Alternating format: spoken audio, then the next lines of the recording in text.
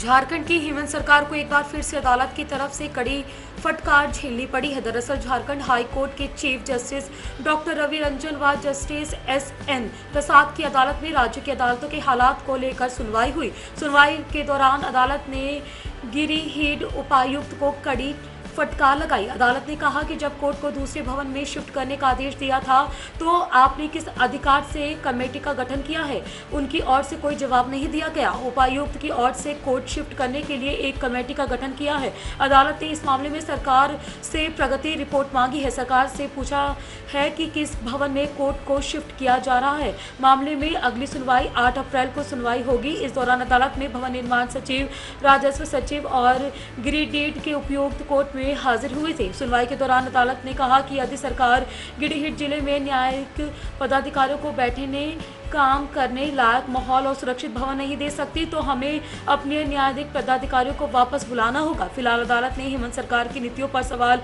उठाते हुए कहा कि न्यायपालिका भवनों की वर्तमान हालत बेहद शर्मनाक है।